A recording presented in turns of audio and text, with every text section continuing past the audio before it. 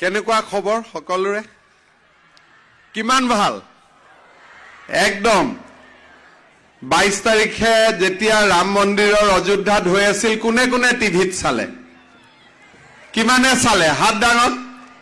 বাপৰে চবেই চালে। তেতিয়াহ'লে মোৰ লগত একেলগে কওক জয় জয় শ্ৰীৰাম! বহুত বহুত ধন্যবাদ। আপোনালোক বহক।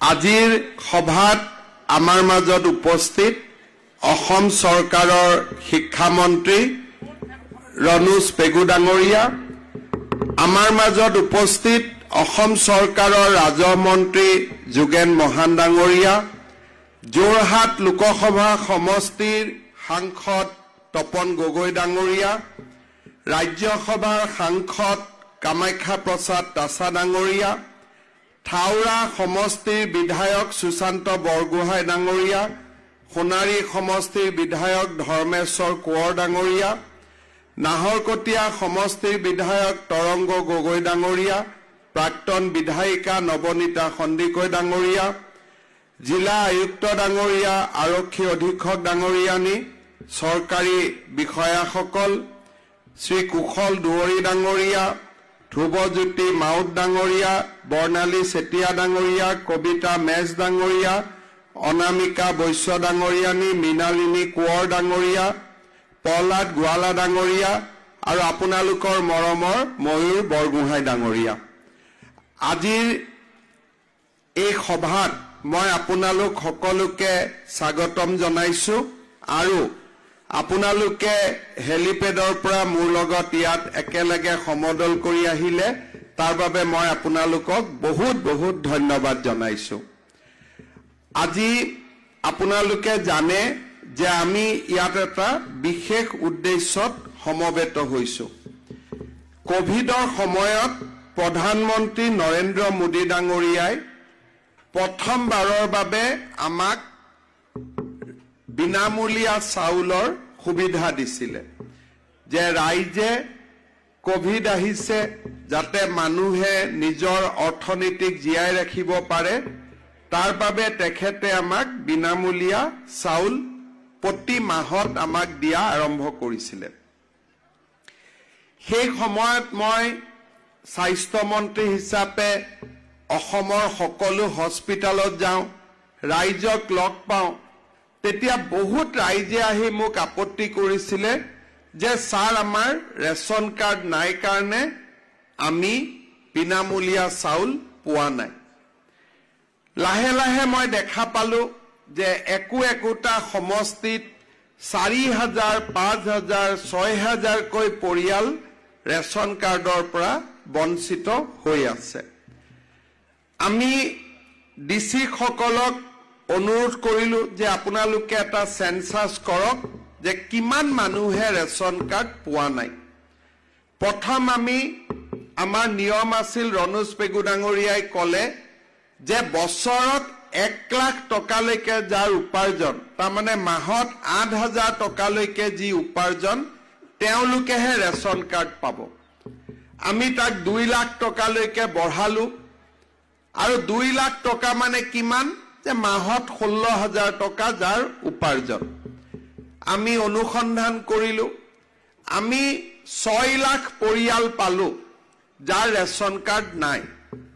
তেতিয়া মই চিন্তা কৰিলো যে আমি ষোল্ল হাজাৰ টকালৈকে যদি দিওঁ তেতিয়াও বহুত নিম্ন মধ্যবিত্তৰ পৰিয়াল ৰেচন কাৰ্ডৰ পৰা বাদ পৰি যাব।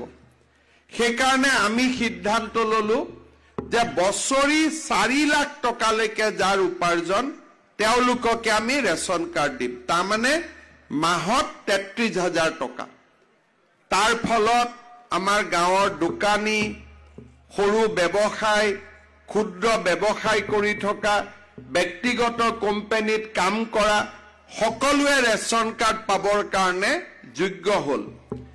হিচাপ আহিলে হিচাপ কৰি আমি দেখিলো যে দহ লাখ পৰিয়াল আৰু বিয়াল্লিছ লাখ জনসংখ্যা আছে যোনে এই কেটেগৰীত পৰে। আমি কেবিনেটত সিদ্ধান্ত ললো আৰু মোদী ডাঙৰীয়াইও আমাক অনুমোদন জনালে যে তোমালোকৰ কাৰণে ইমানখিনি ৰেচন কাৰ্ড মই বঢ়াই দিলো। ষোল্ল জানুৱাৰীৰ পৰা আমি ৰেচন কাৰ্ডসমূহ বিতৰণ কৰিছো আৰু আজি আমি নৱগঠিত নাজিৰা সমষ্টিত আমি এই ৰেচন কাৰ্ড বিতৰণ কৰিব খুজিছো।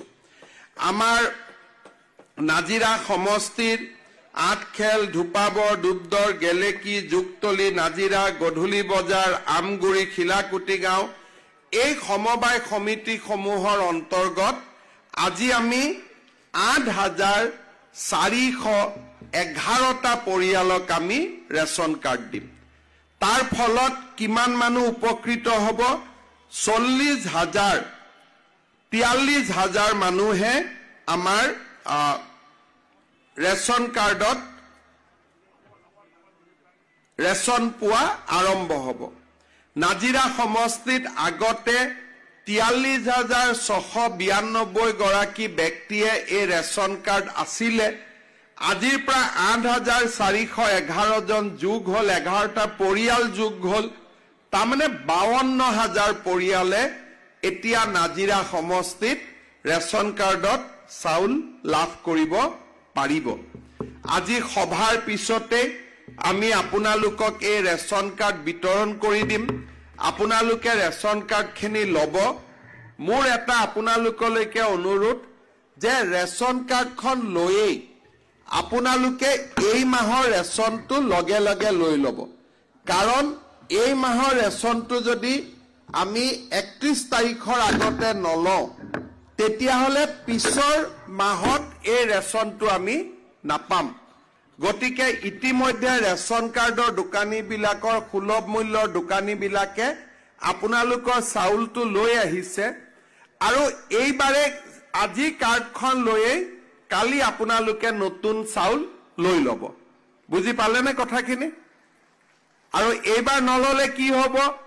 তেতিয়া এই মাহৰ চাউলটো আৰু ফেব্ৰুৱাৰী মাহত নাপাব। বুজি পালে কথাখিনি? কোনে কোনে বুজি পালে হাত ডাঙক? বা ইমান ফটাফট বুজি পাই গ'ল। ঠিক আছে। এতিয়া মই দ্বিতীয় কথাটো বুজাব খুজিছো যে আমি ৰেচন কাৰ্ডত কিমান চাউল পাম? যদি অন্ত্যোদয় পৰিয়াল থাকে আমি পঁয়ত্ৰিশ কেজি মাহত চাউল পাম। কিন্তু বাকীসকলে আমি কিমান চাউল পাম? প্ৰত্যেক ব্যক্তিৰ বিপৰীতে পাঁচ কেজি।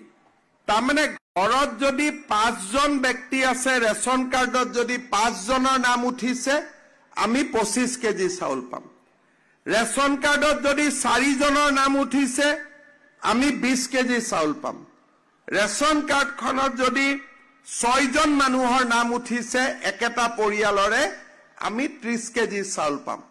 তাৰমানে সকলোৱে একে চাউল আমি নাপাওঁ জনসংখ্যা অনুসৰি আমি চাউল পাম। দুজন থাকিলে দহ কেজি তিনিজন থাকিলে পোন্ধৰ কেজি চাৰিজন থাকিলে বিছ কেজি পাঁচজন থাকিলে পঁচিছ কেজি। এতিয়া এই কথাটো মই কিয় কৈছো? মই যেতিয়া গাঁওবিলাকত যাওঁ তেতিয়া মানুহে মোক কয় ছাৰ চাউলবিলাক দোকানীবিলাকে কাটি ৰাখে। তাৰমানে আপোনালোকে পিঠা দেখিছে নহয় পিঠা এখন যেনেকে টুকুৰ টুকুৰ কৰি অলপ অলপ মানুহে খাই থাকে তেনেকে আমাৰ বহুত ৰেচন কাৰ্ডৰ দোকানী আছে। পাঁচ কেজি চাউল দিব লাগে চাৰি কেজি দিয়ে চাৰে চাৰি কেজি দিয়ে অলপ অলপ টুকুৰ টুকুৰ কৰি কাটি ৰাখে। ইয়াতেও ৰাখে নেকি? ৰাখে যদি হাত চাপৰি এটা বজাই দিয়ক তেওঁলোকৰ কাৰণে আৰু। ডিচি साहब आपका तो काम बढ़ गया है अभी सब लोग बोल रहे हैं राशन कार्ड में पूरा पांच के जी नहीं मिलता है সঁচা নে মিছা কথাটো আচ্ছা কিমানে পাঁচ কেজিকৈ নাপায় কিমানৰ দ- চাউল কাটি ৰাখে হাত ডাঙক পুৰণা মানুহখিনি সুধিছো নতুনখিনিয়েতো এইবাৰৰ পৰা গম পাবহে কি- পুৰণাখিনিয়ে কয় কিমানৰ কাটি ৰাখে দোকানীবিলাকে অলপ অলপ কৰি ঠিক আছে। আজিৰ পৰা আপোনালোকে কাটিব নিদিব। পৰিয়ালৰ এজন মানুহৰ নামত পাঁচ কেজিকৈ চাউল নৰেন্দ্ৰ মোদীয়ে পঠায়। দুই কেজি হলে দহ কেজি। আৰু তেওঁলোকৰ যিটো পৰিবহণৰ খৰচ সেইটোও চৰকাৰে দিয়ে। দোকানীসকলক কমিশ্যনটোও চৰকাৰে দিয়ে। সেইকাৰণে চাউল আমাক পুৰা দিব লাগিব। বুজি পালেনে? পালে?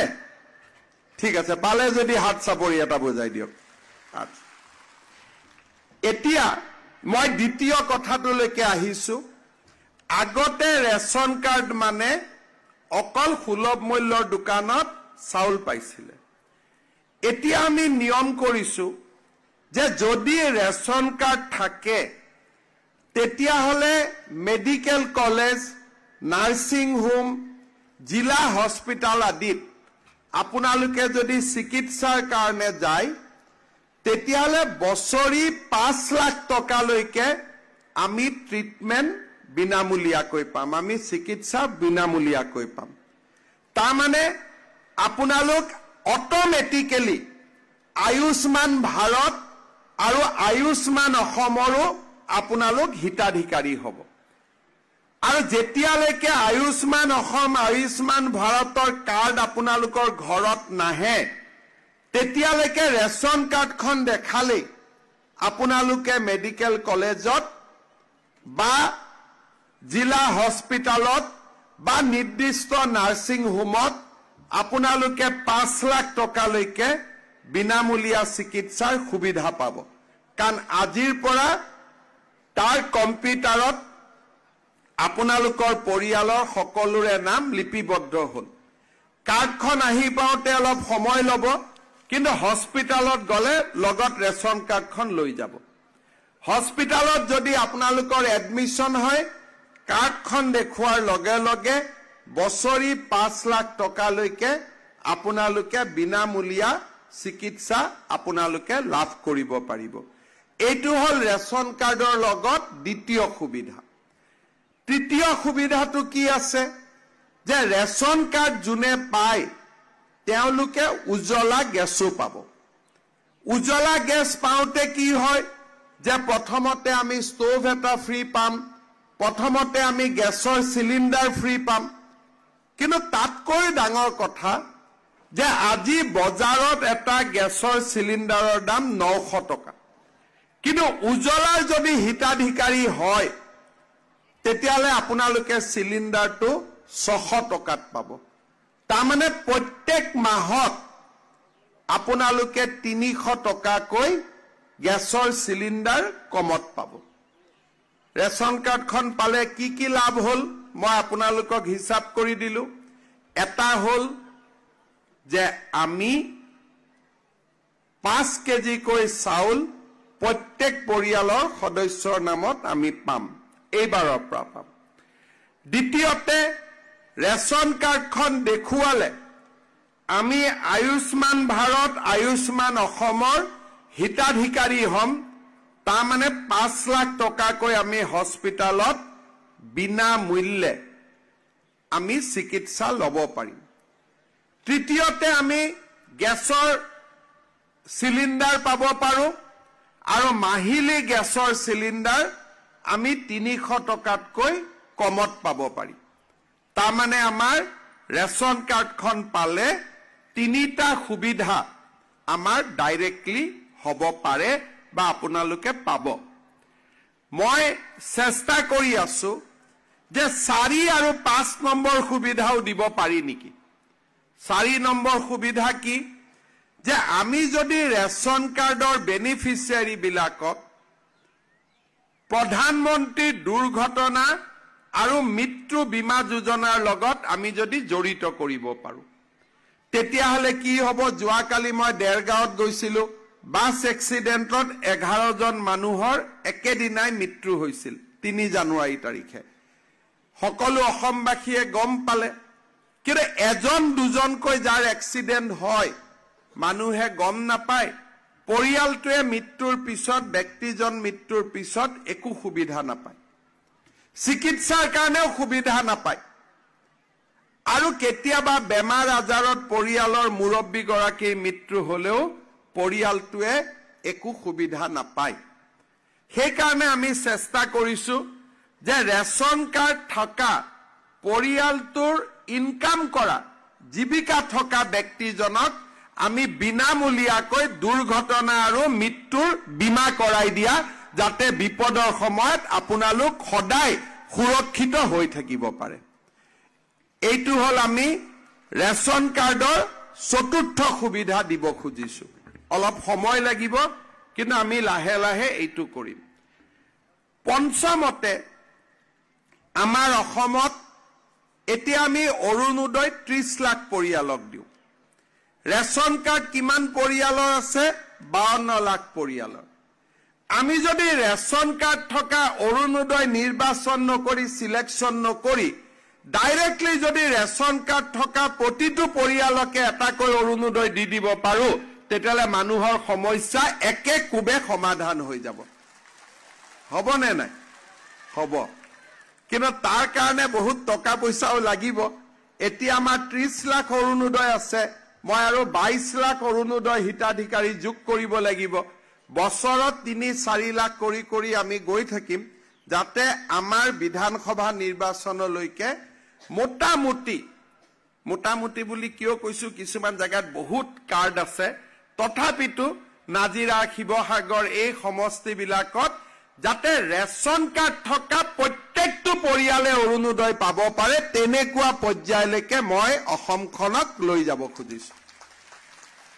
গতিকে আপোনালোকে চিন্তা কৰক যে এখন ৰেচন কাৰ্ড আমাৰ হাতত থাকিলে কিমান সুবিধা হ'ব। চাউল পালো গেছ পালো ট্ৰিটমেণ্ট পালো মৃত্যু আৰু দুৰ্ঘটনাৰ বীমা পালো লগতে অৰুণোদয়ো পালো। এই কামখিনি মই লাহে লাহে লাহে লাহে কৰি গৈ থাকিম। আৰু এইখিনি যদি কাম কৰিব পাৰো তেতিয়াহ'লে অসমৰ দৰিদ্ৰ লোকসকলৰ সদায় দৰিদ্ৰ আৰু নিম্ন মধ্যবিত্ত লোকসকল সদায় সুন্দৰ কৰি আগুৱাই যাব পাৰিব। আৰু আপোনালোকে জানে যে যিখিনি কথা আমি কওঁ সেইখিনি আমি কৰিবৰ বাবে চেষ্টা কৰোঁ। আমাৰ মাইক্ৰ' ফাইনেন্সৰ আইসকলৰ লোন আছিলে। পৰ্যায়ক্ৰমে কৰি পঁচিছ হাজাৰ টকালৈকে লোন লোৱা সকলোকে আমি এন অ' চি দি দিলো। অহা বছৰ আমি পঞ্চাছ হাজাৰ টকালৈকে যাৰ লোন আছিল তেওঁলোককো আমি এন অ' চি দি দিম। আপোনালোকে এক টকাও ঘূৰাই দিব নালাগে। যিসকলে ইলেকশ্যনৰ আগত লোন লৈছিল ইলেকশ্যনৰ পিছত লোন লোৱা সকলেতো বেলেগ কথা। আমি সেই কামবিলাকো আজি কৰি কৰি শেষ কৰিলো। এক লাখ ল'ৰা ছোৱালীক চাকৰি দিম বুলি কৈছিলো। প্ৰায় একান্নব্বৈ হাজাৰ ল'ৰা ছোৱালীয়ে চৰকাৰী চাকৰি পালে। আজি আপোনালোকে চাওক যে অসমত এতিয়া চাকৰি পাবৰ কাৰণে কোনো ল'ৰা ছোৱালীয়ে টকা পইচাৰ ঘোচ দিব নালাগে। এতিয়া মই গাড়ী দি আহি থাকোতে যিমান ল'ৰা ছোৱালী মই পাইছো চবকে কৈছো এই বাবাহঁত ভাল কৰি পঢ়িবি দেই। কিয় মই কৈছো? কাৰণ এতিয়া আমাৰ অসমখন এনেকুৱা পঢ়িলেহে চাকৰি পাব। আমাৰ ৰাজনীতি কৰা মানুহে আৰু চাকৰি দিব নোৱাৰে অকল পঢ়া শুনা কৰিহে আমি চাকৰি পাব পাৰিম।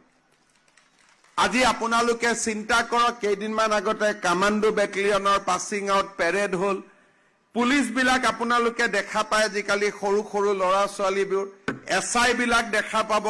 গভৰ্ণমেণ্ট অফিচত গ'লে নতুন সৰু সৰু ল'ৰাবিলাকক আপোনালোকে কৰ্মচাৰী হিচাপে দেখা পাব। চব দুখীয়া আৰু নিম্ন মধ্যবিত্ত পৰিয়ালৰ ল'ৰা। এক টকাও কোনে ঘোচ দিব নালাগে। আজি মই গৌৰৱ কৰিব পাৰো ভাৰতৰ ভিতৰতে অসম এনেকুৱা এখন ৰাজ্য য'ত চৰকাৰী চাকৰি ল'বলৈ কোনেও এটকাও কাকো ঘোচ দিব নালাগে। আজি সেইখন অসম আমি যোৱা তিনিটা বছৰৰ প্ৰচেষ্টাত আমি প্ৰতিষ্ঠা কৰিছো। কেইদিনমান আগতে মই আপোনালোকক এনাউন্স কৰিছিলো যে ছেল্ফ হেল্প গ্ৰুপত থকা বাইদেউসকলক আমি লাখপতি বাইদেউ বনাব লাগিব। লাগিবনে নাই? কোন কোন আছে ছেল্ফ হেল্প গ্ৰুপত চাওঁ?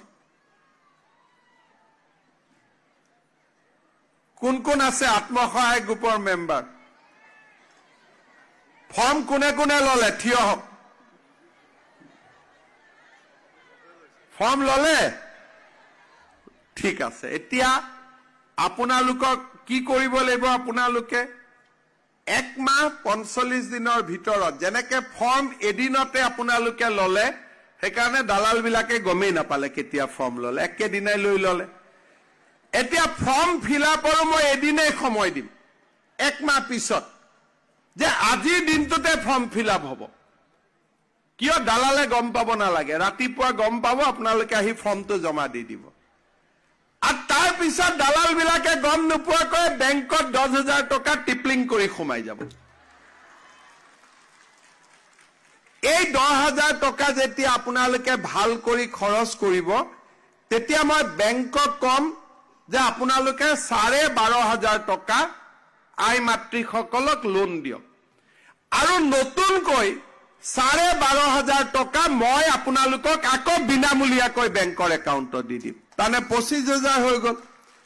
দহ হাজাৰ দহৰ লগত পঁচিছ পঁয়ত্ৰিছ এনেকে আমি গৈ গৈ আপোনালোকে উপাৰ্জন কৰিব লাগিব। আৰু লাষ্টত আপোনালোকৰ নামটো হ'ব লাখপতি বাইদেউ। তাৰমানে এক লাখ টকাৰ উপাৰ্জন হ'ব। বুজি পালে নে এতিয়া লাখপতি বাইদেউ বুলি ক'লে? যিসকলে বুজি পালে জোৰ কৰি হাত চাপৰিব যাওক। বা নাজিৰাত মানুহে ফটক কৰি বুজি পায়। বুজি পায়তো ফটক কৰি পায় নে নাপায়? এতিয়া আপোনালোকে ধুনীয়াকৈ ফৰ্মখন ফিল আপ কৰি ৰাখক। এদিনে সময় দিম ধুনীয়াকৈ ফৰ্মখন ঘূৰাই দিব।